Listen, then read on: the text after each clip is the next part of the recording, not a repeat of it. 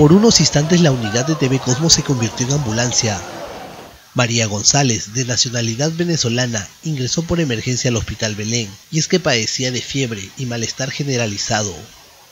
En su interior había tenido una gasa médica, la cual se desprendió al ingresar a los servicios higiénicos.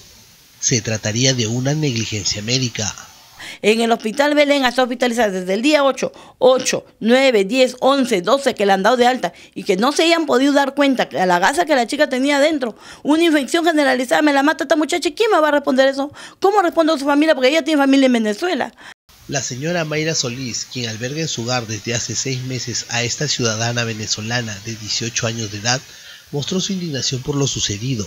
Vale señalar que días antes, María González había dado a luz en el hospital de Vista Alegre, pero su caso empeoró.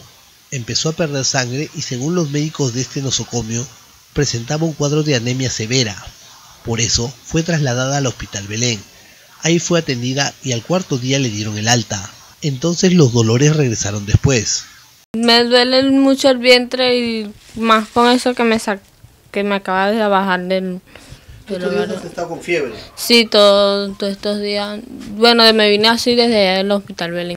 La sorpresa mía es de que el día de hoy a la chica le baja una gasa por sus partes y eso apesta horrible y de ella sigue siendo fiebre y a mí me indigna que aunque en el hospital de Vista Alegre le han hecho el legrado y me supongo que ahí le han dejado la gasa. No se sabe con precisión en qué hospital olvidaron la gasa dentro de la paciente el tema ya es de conocimiento público y se espera el pronunciamiento del gerente regional de salud, la Defensoría del Pueblo y sobre todo de los directores de ambos hospitales.